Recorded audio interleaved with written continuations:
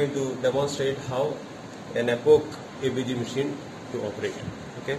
So before that, I would like to show uh, what all the instrument we are using here in the EPOC machine cooling. This is the reader, and here is the monitor for you, and this is a printer. Three separate things, and this package is for keeping your monitor, and this uh, uh, power button is I will just for it. Okay. So first put the monitor inside the package okay? Keeping it on. Another thing uh, there are uh, two adapters. One is for this uh, base, base reader and second thing is for the uh, printer okay? So first I will show you how to connect the monitor to the reader just holding like this will be connected okay? Remove like this and putting it like this. And there is two power buttons. One for the monitor power get the red one it like that it will be on. And second thing for the reader this power button it will be on. So the both the reader and the monitor is now on. Okay.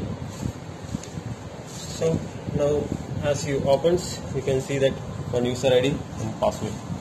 Keep the user id here. And the user id is 1 2 3 4 and the password is same 1 2 3 4 okay? Login. So as logins you can see connecting to the reader now you can see the configuring the reader this configuring bar will be moved from here to here. It will all, almost 15 seconds. So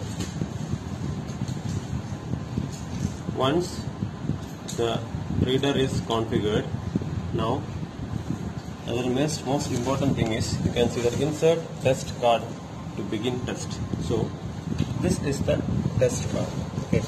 It should be kept in fridge 2 to 8 degree temperature okay? I will open you and show you how it looks like. This is the test card. It has two sides. One thing has the barcode another thing the port where you have to inject the blood okay hold the machine like this. Ensure that this triangle is coming to the upper side.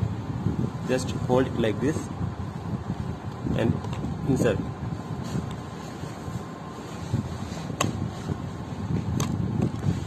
But gently. Okay.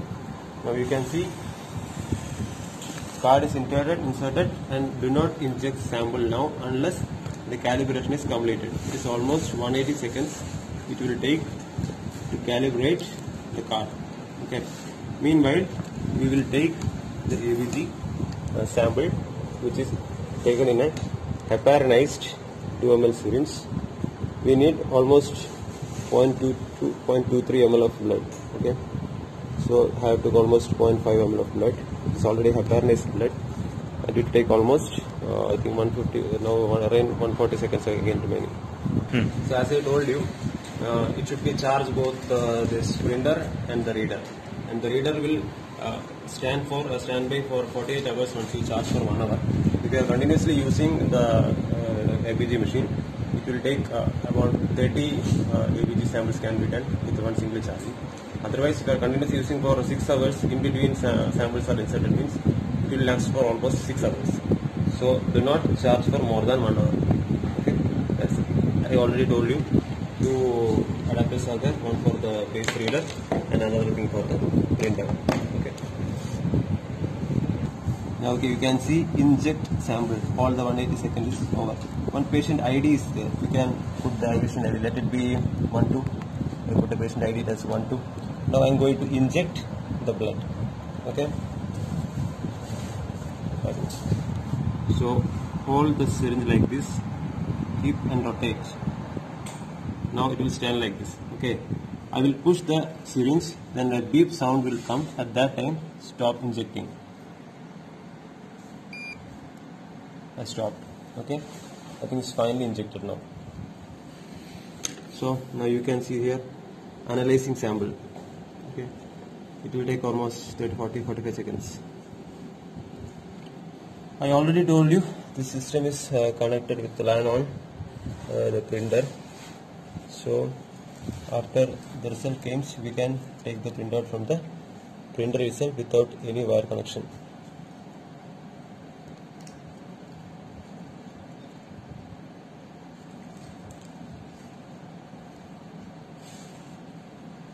Okay.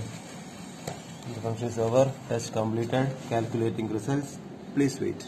Okay.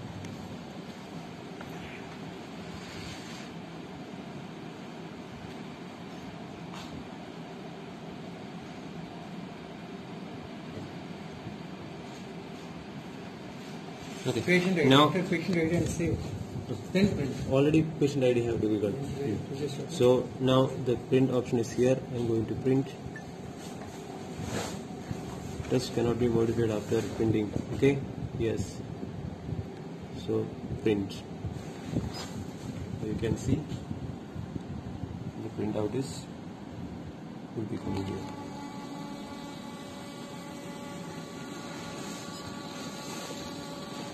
Okay. Now this is the ABG printout. Now close the window. It's closing. I can remove the card from here. Here, here again come to this one. This arrow mark. Just press here.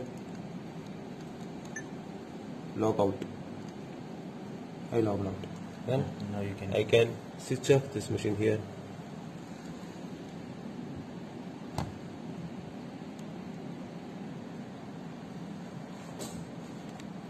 Okay, let's close. It's fine. Okay, now this is the cartridge that we are used. Here you can see uh, one expiry date that is 2020 831 and 31st uh, uh, August 2020. Just ensure that you are using uh, before expiring the card. And the most important thing from when you are receiving this cartridge from the stores ensure that this expiry date is more than 10 days. If it comes less than 10 days don't receive from the stores. Tell them to replace with the EPOC company because they will be replacing the card if within uh, before uh, 10 days of expiry so just ensure that before receiving from the stores this is more than, uh, the expiry date is more than 10 days and accordingly only collect the uh, cartridge Okay. This video is uh, uh, done for the entire nurses of Railway Hospital Perambur on behalf of Association of Railway Nurses of India. Okay.